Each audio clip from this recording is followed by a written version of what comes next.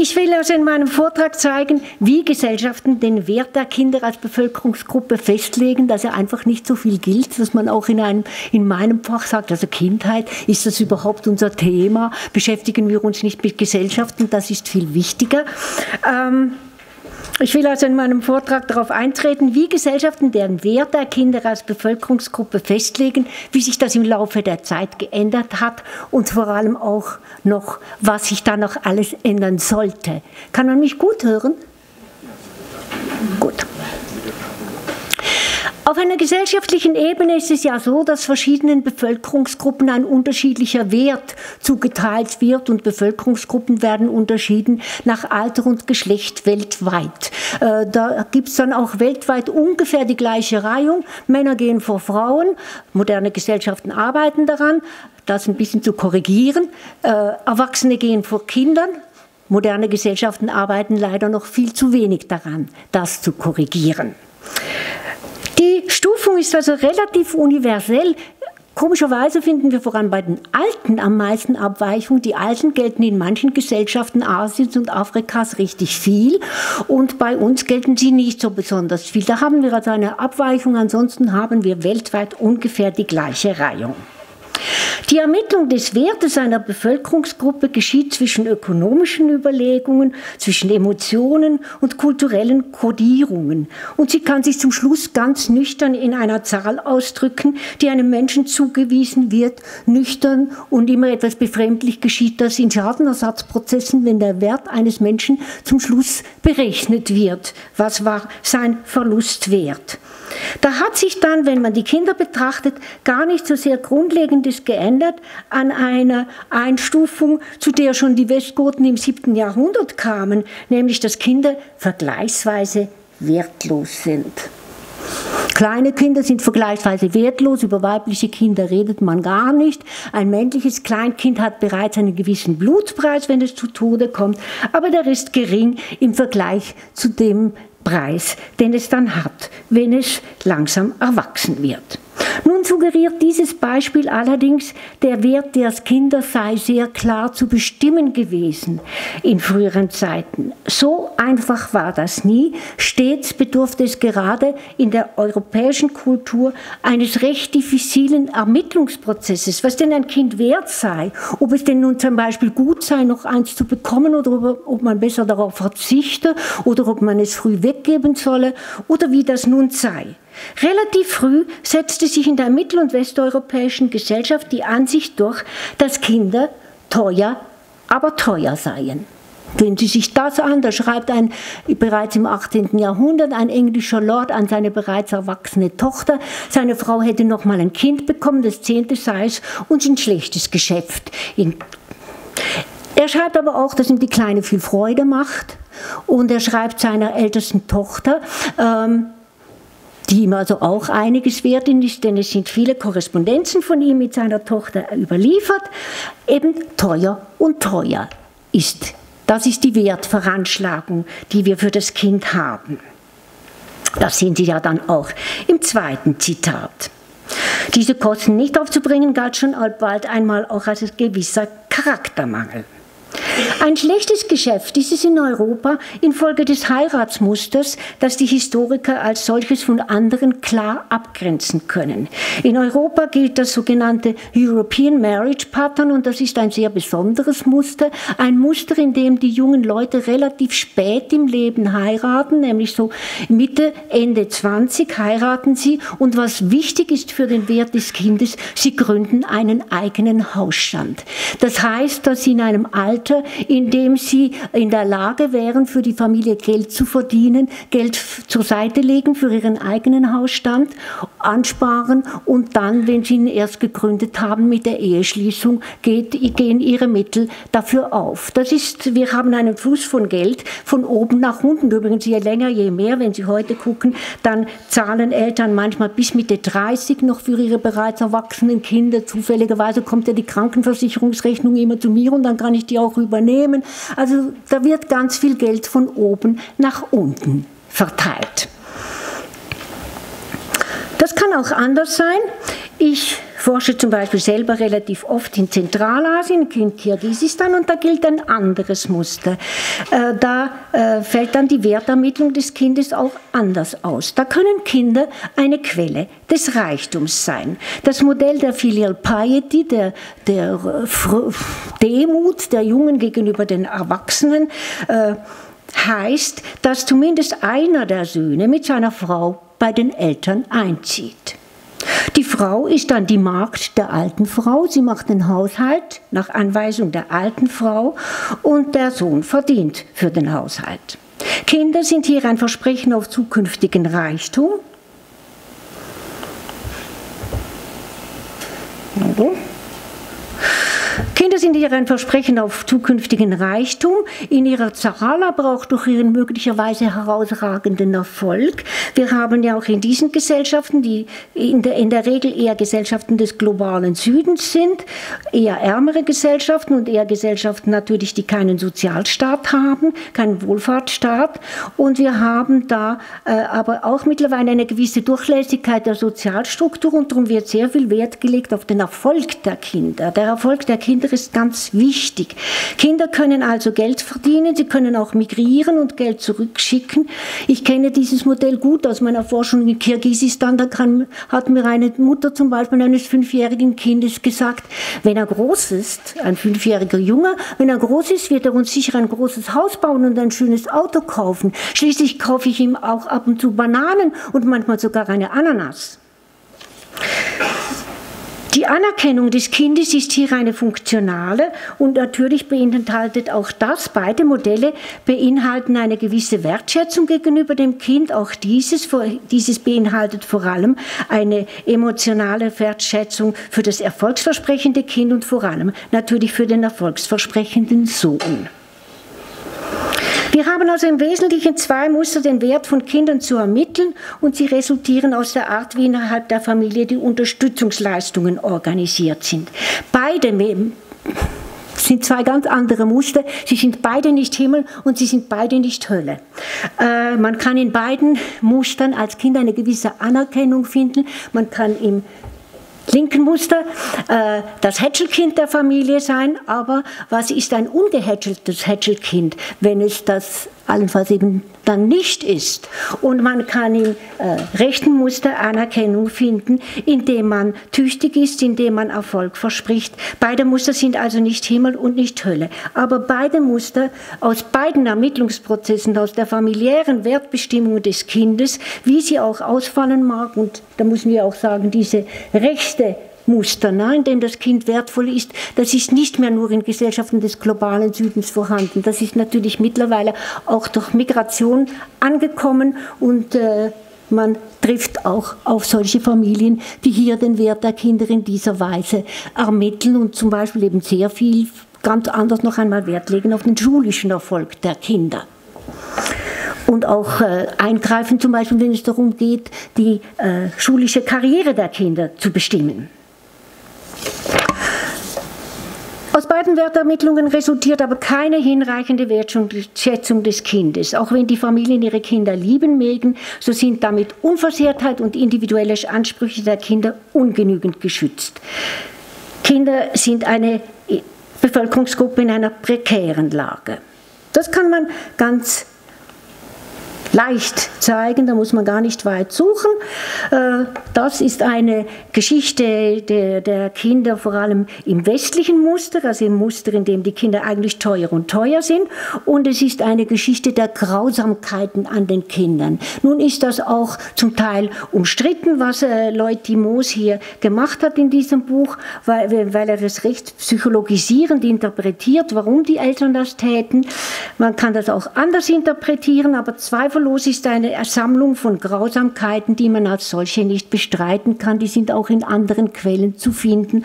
Und äh, ja, es ist ziemlich schrecklich, was man da liest. Drum auch der Titel hörte die Kinder weinen. War mal so ein Bestseller in den 70er, 80er Jahren. Eine Sache der Vergangenheit ist das nicht, wenn man äh, David Finkelhor, der über die Viktimisierung von Kindern forscht und der Leiter des Centers of Crimes Against Children ist, äh, weist darauf hin und belegt das mit sehr vielen Studien, wie sehr die Kinder äh, exponiert sind für Viktimisierung. Kinder erleben dreimal häufiger Gewalt durch erwachsene Familienmitglieder, zeigen äh, Studien über die Viktimisierung, die wir hier leider noch nicht einmal haben, die wir für die USA haben. Und die zeigen, Kinder haben dreimal häufiger Gewalt durch erwachsene Familienmitglieder zu erleben und die wird nur halb so oft polizeilich gemeldet. Im Muster der Filial Piety sieht das nicht anders aus. Das ist es nur so, da haben wir noch nicht einmal Daten dazu. Das hat noch nicht einmal jemanden interessiert, das historisch aufzuarbeiten. Äh, das ändert sich erst jetzt mit dem Auftreten der internationalen Organisationen. Ich habe vor etwa zehn Jahren eine Studie an Kindergartenkindern dort gemacht. Das sind vier meiner Kindergartenkinder, die Sie hier sehen. Und ich habe diese Kinder nicht explizit nach Gewalt, die sie erleben, gefragt. Ich habe also kleine Übungen Übungen mit ihnen gemacht und eine bestand darin, dass sie so hölzerne Smileys bekamen mit verschiedenen Gesichtsausdrucken und da mussten sie sagen, wie sich dieser Smiley da gerade so fühlt und ob sie sich auch einmal schon so gefühlt haben. Und diese diese kleine Übung nahmen die Kinder zum Anlass, um über sehr viel häusliche Gewalt zu berichten. Insgesamt war es über die Hälfte der Kinder, die über erfahrene Gewalt in ihrer Familie klagten. Wenn sie einen weinenden oder wütenden Smiley hatten, sagten sie, ja, der wird geschlagen und ich werde auch von und schlimmere Dinge.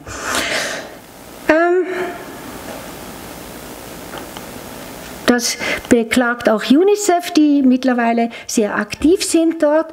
Und sie beklagen vor allem auch, dass die Kinder in diesem Muster überhaupt nicht dazu angehalten werden, eigene Interessen zu entwickeln, weil sie sich ja den Interessen der Familie zu unterziehen hätten. Wenn man die Familien dort zum Beispiel fragt, was soll denn das Kind werden, haben sie sehr genaue Vorstellungen davon, was es werden soll, weil sie das gerade so brauchen können. Wenn man hier fragt, dann vor allem die Mütter weichen dann aus und dann, ach, da möchte ich also gar nichts dazu sagen. Also das muss das Kind vollkommen selber entscheiden, was, in welche Richtung es gehen möchte. Hier haben sie eben sehr äh, dezidierte Ansichten davon, was das Kind später werden soll. Aber ob das eine Muster oder das andere Muster, es tut sich nicht viel. Die Kinder sind in beiden Mustern Opfer von Gewalt. Das hat eine WHO-Studie 2013 gezeigt. Sie spricht hier von dem europäischen Raum, fasst aber den sehr weit. Sie hat nebst den Ländern Westeuropas auch Osteuropa untersucht, die Länder des Kaukasus und bis nach Zentralasien. Also all das ist hier drin. Und äh, in allen diesen Ländern sind es erschreckende Misshandlungsraten, die 2013 vorgestellt werden. Sie können es hier selber sehen. 9,6 Prozent sexueller Missbrauch, 22,9 Prozent physische Misshandlung, ähm, psychische Misshandlung, fast ein Drittel der Kinder. Das ist auch aus dieser WHO-Studie, das sind die Homizidraten inklusive Todesfälle mit ungeklärter Ursache, die auch meistens auf Misshandlung oder Vernachlässigung zurückzuführen sind. Ähm, die Raten sind erschreckend hoch. Sie haben, Deutschland habe ich markiert mit dem Pfeil und da sehen Sie, da sind das 0,61 Kinder auf 100.000 unter 15. Ähm, das macht zwei bis drei Kinder pro Woche, die in ihrer Familie zu Tode kommen. Das ist laut WHO eine dreifache Unterschätzung muss mit einer ungefähr dreifachen Unterschätzung rechnen. Und Sie sehen auch, dass es äh, Länder gibt, die sich besser stellen als Deutschland. Erstaunlicherweise sind hier Griechenland, Spanien, Italien liegen hier sehr gut. Man könnte sagen, okay, die führen ja halt einfach schlechte Statistiken. so könnten wir das natürlich vom Tisch wischen. Aber es gibt eine Studie von UNICEF kurz zuvor gemacht, die kommt zu einer ganz ähnlichen Reihung, was die Spitzenreiter betrifft. Da sind diese Länder auch ganz weit vorne. Und wenn wir die Kinder nach dem selbst erfahrenen Wohlbefinden fragen in den verschiedenen Ländern, dann ist es tatsächlich in Spanien und in Griechenland sehr hoch. Geben die Kinder an, dass es ihnen gut gehe, dass sie zufrieden seien mit ihrem Leben, also obwohl diese Länder relativ arm sind. Es hängt also nicht nur mit dem Reichtum zusammen und es heißt natürlich auch, dass ein Land wie Deutschland sich ganz klar verbessern könnte in dieser Hinsicht. Aus der Bedeutung, die die Kinder für ihre Familien haben, kurz und gut, hat also nie ein hinreichender Schutz der Kinder resultiert und so nähert sich der Staat den Kindern schon relativ früh, schon im 19. Jahrhundert. Und ich will Ihnen jetzt ein paar Stichworte dazu geben, wie sich der Staat den Kindern nähert. Das ist nämlich eine ganz bestimmte Art, wie er die Kinder versteht und wie er allenfalls so etwas, was man in Anführungszeichen als Kinderpolitik betreiben könnte, wie er das versteht. Der Staat nähert sich den Kindern erstens in einem ausgesprochenen Ordnungsinteresse. Es ging ihm um die armen und verwahrlosten Kinder, die wollte er unter Kontrolle bringen. Im 19. Jahrhundert hatte man Angst vor Revolutionen und Aufständen. Und auch heute noch, wenn Sie sehen, warum Maßnahmen angeschoben werden, sind Argumente wie Verhindern einer Parallelgesellschaft nicht selten und lösen etwas aus. Also das ist dieses Ordnungsinteresse.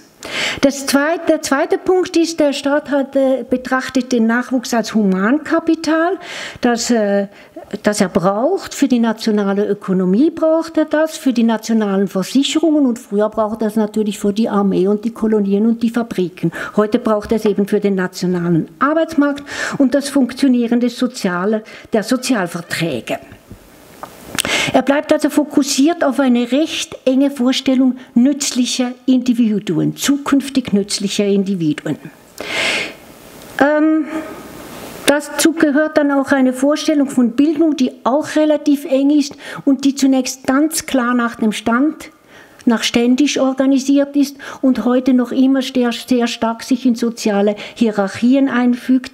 Stichwort Bildungsungleichheit, ich werde darauf nochmal zurückkommen. Er hat dann zum Schluss auch noch eine Vorstellung von äh, Kinderschutz, von Kindeswohl, aber auch das ist eine enge Vorstellung. Das Kindeswohl, so wie es definiert ist und wie es den Kinderschutz anleitet, wird vor allem dann als gefährdet betrachtet, wenn eine normgerechte Entwicklung des Kindes in Gefahr steht. So ist das definiert. Es geht also nicht um so etwas wie Wohlbefinden und es geht nicht um Ängste und Leiden und Sorgen des Kindes. Es geht um die normgerechte Entwicklung. Ist die noch gesichert oder nicht?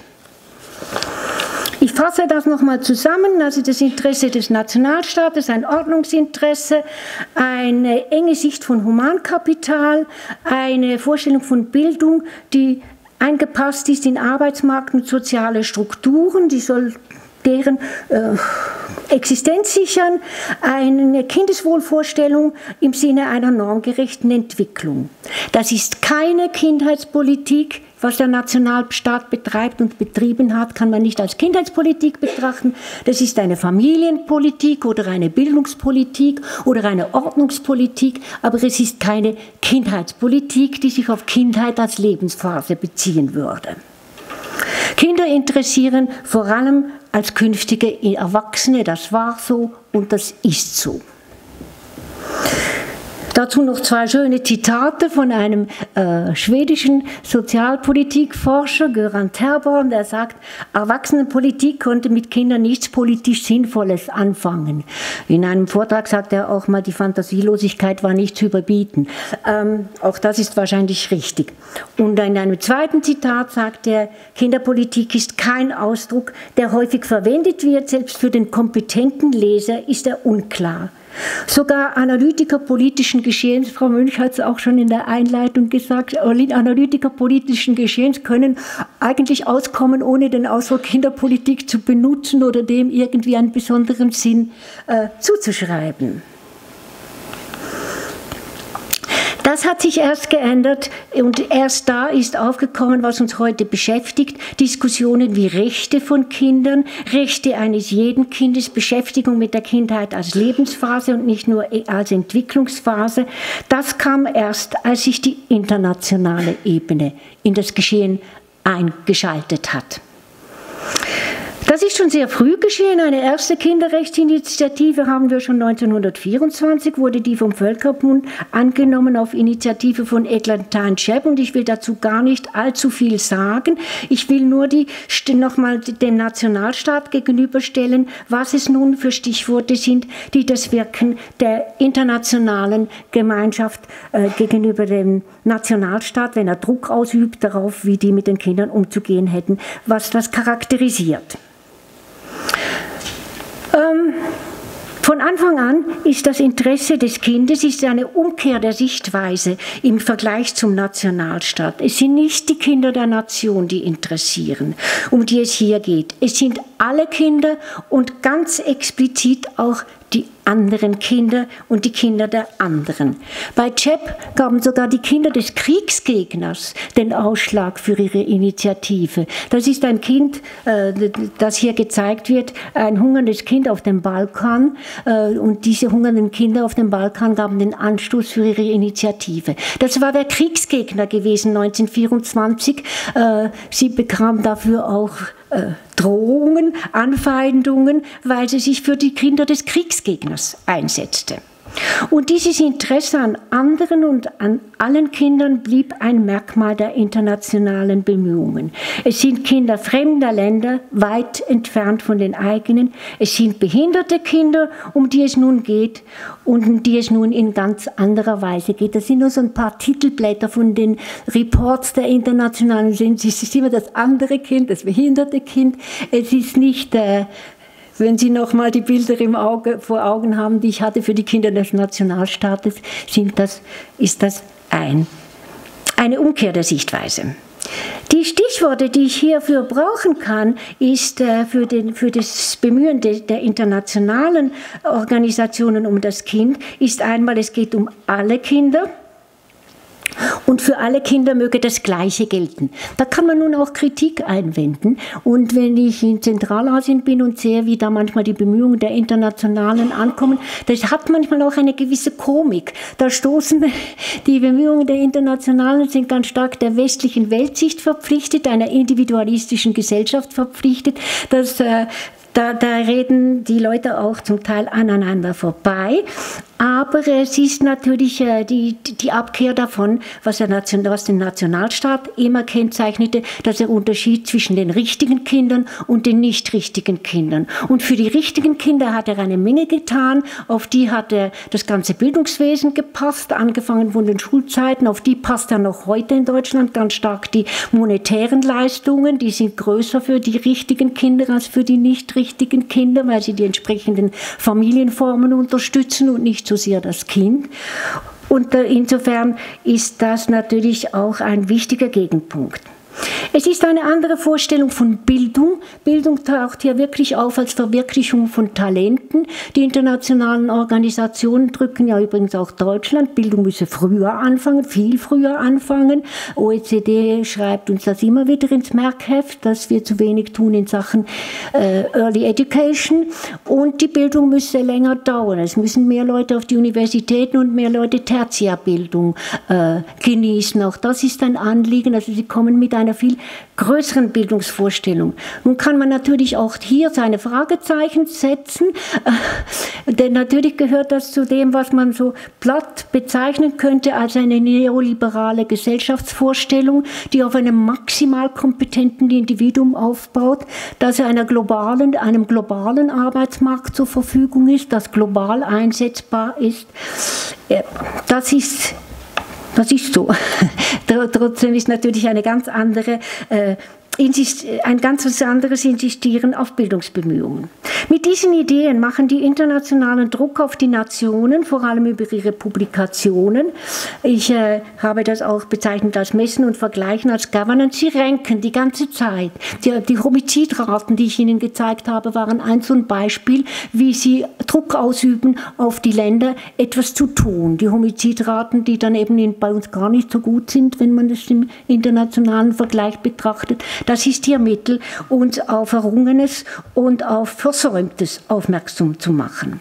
Der Erfolg, ist in der Tat, der Erfolg ist in der Tat beachtlich. Es gelingt den internationalen ähm, die Politik für ihr Anliegen zu mobilisieren. Hier ist vielleicht eine etwas allzu euphorische Sicht von Black, die schreibt die Geschichte von UNICEF und sie macht es natürlich dann sehr, sehr positiv, aber ähm, Sie, äh, es ist tatsächlich so, und vor allem wenn Sie in arme Staaten kommen, ist es noch stärker so. Hier finden wir jetzt keinen Politiker, aber wenn eine solche Konferenz für Kinder in Kirgisistan eröffnet wird, müssen ein paar hochrangige Politiker anrücken. Es ist nämlich so, dass das mit monetären Leistungen verbunden ist. Und diese Staaten sind abhängig von den Leistungen, die die Weltbank ihnen offeriert. Und die Weltbank macht heute so ein, ihr kriegt nicht nur Geld, wenn ihr keine Entwicklung gebt, dann kriegt ihr kein Geld. Äh, also sie machen so ein Gesamtpaket, in dem sie gleichzeitig neben äh, ökonomischer Entwicklung, Menschenrechte, äh, Bildung, und eben immer wieder Kinder und, der, und frühkindliche Erziehung auf, den, äh, auf die Traktandenliste setzen und damit verbinden, was sie an, ähm, Entwicklungs, äh, an monetären Entwicklungsinputs leisten. Mit ihren Reports machen die Internationalen darauf aufmerksam, dass nicht nur Asien und Afrika mehr tun müssen, sondern zum Beispiel auch Deutschland. Und da will ich Ihnen noch ein paar Beispiele zeigen. Es werden also Versäumnisse sichtbar, dank dem, dass sich die internationale Ebene eingeschaltet hat, weil die nationale Ebene eben dieses so sehr enge Interesse hatte. Zum Beispiel, wir würden ja nun denken, wir seien die nettesten und liberalsten Eltern der Welt und keiner tut es so gut wie wir. Wir reden wirklich vernünftig mit unseren Kindern, fragt man unsere Kinder und vergleicht das mit den Ergebnissen von Kindern aus anderen Ländern, ist es gar nicht so besonders. Im Gegenteil, es liegt weit unten im letzten Drittel. Die Kinder finden, man kann mit den Eltern nicht so gut reden. Vor allem mit den Vätern. Tut mir leid für Anwesende, das stimmt sicher nicht für alle hier anwesenden Väter. Aber im internationalen Vergleich finden Sie das Gespräch mit dem Vater schwierig. Ich kann Ihnen eine weitere Sammlung von solchen Versäumnissen geben, da können Sie jetzt besser sagen als ich, ob, ob, ich da vielleicht auf dem Holzweg bin. Aber wenn wir die Under 5 Mortality Rate betrachten, so ein Zentralindikator für die internationalen Organisationen, dann denke ich als medizinischer Laie, das könnte besser sein. Es gibt Länder, die hier klar besser sind. Äh, wir sind bei 3,7, das ist sicher im Vergleich zu Somalia, das diese Liste anführt. Natürlich eine ganz andere Mortality Rate hat, ist es aber, es ist aber immer noch hoch, wenn wir es vergleichen, zum Beispiel mit Finnland, Island, Japan, Norwegen, die sind deutlich besser. Ich weiß nicht, woran es liegt, aber wenn wir das in der, im Ranking sehen, in diesem, dann sehen wir eben den Unterschied. Kinderschutz, da haben wir eine ganz klar unbefriedigende Datenlage. Wir haben eine reine Hellfeldstatistik. Bildungsungleichheit, das wurde uns ja von PISA gesagt im Jahre 2000, dass wir da, die sind mit der allerhöchsten Bildungsungleichheit von allen Ländern, die teilgenommen haben. Das hat sich mittlerweile etwas gebessert und es ist äh, aber immer noch etwas überdurchschnittlich und die schlechte Nachricht ist, es steigt in den IGLU-Studien, die die Lesekompetenzen von Viertklässlern messen, steigt die Ungleichheit neuerdings wieder an. Und zwar auch zwar die auch die Ungleichheit der Bewertung durch die Lehrer, die Kinder werden ungleicher bewertet, steigend ungleich bewertet seit einigen Jahren in den IGLU-Studien messbar. Da könnte man weiteres hinzufügen. Ich lasse das mal und komme zum Fazit. Kinder bleiben eine gering bewertete Gruppe, Trotz Verbesserungen, wie sie vor allem unter internationalem Einfluss zustande gekommen sind, braucht es also eine nationale Kinderpolitik, von der wir noch ziemlich weit weg sind. Internationale Organisationen in Kooperation mit jeweiligen Experten sind wichtige Gruppen bei deren Festlegung. Es kommt nicht nur von der Politik. Auch im 19. Jahrhundert, als sich der Nationalstaat einschaltete, waren natürlich die Experten, die allmählich aufkommende Kindermedizin und die Pädagogik und die Psychologie ganz wichtig dabei und haben auf die Missstände aufmerksam gemacht und den Staat gepusht, etwas zu tun. Und wenn die internationalen Organisationen heute so viel stärker agieren, agieren können, dann ist es nicht deswegen, zuletzt deswegen so, weil sie einfach eine Ansammlung von Experten haben, die man der nationalen Politik nur wünschen könnte. Dann zum Schluss möchte ich Ihnen noch ein Beispiel bringen, wie man Handlungen vielleicht, weil es ja manchmal etwas langsam geht, auch bei politischem Widerstand auf den Weg bringen kann. Das zeigt meines Erachtens sehr schön der WHO-Report und der macht nochmal auf den Vorteil der Expertenargumentation und der Experten als äh, einer wichtigen Gruppe in der Gestaltung solcher Politik aufmerksam. Die WHO könnte ja nun natürlich mit den osteuropäischen Ländern zum Beispiel, wenn sie die untersucht, ganz lange darüber reden, ob man so etwas wie psychische Misshandlung des Kindes oder Körperstrafe überhaupt erfassen soll, weil sie wissen, dass da kommen auch immer gerade die konservativen Stimmen, die sagen, äh, das greift unsere traditionelle Familienstruktur an, das ist eine, ein Family Mainstreaming, das wir nicht möchten. Und die WHO spricht dann gar nicht darüber, sondern sie sagt ganz einfach, Kindsmisshandlung ist ein Gesundheitsproblem. Ein ganz ungeheuer kostenintensives Gesundheitsproblem. Daraus ergeben sich Depressionen, daraus ergeben sich äh, weitere Suchtkrankheiten, weitere gesundheitliche Störungen und wir müssen das ganz einfach äh, beheben, denn und es fällt in unseren Kompetenzbereich, nämlich den des Gesundheitswesens. Das ist vielleicht gar keine schlichte Lösung, wenn man bedenkt, wie lange man sonst äh, darüber streiten kann. Damit bin ich am Ende.